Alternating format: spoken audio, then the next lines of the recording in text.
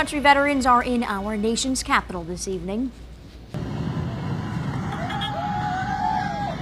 This was the scene from the U.S. Oval in Plattsburgh as they left for their trip this morning. North Country Honor Flight took 14 veterans to D.C. today to show them the monuments built in their honor.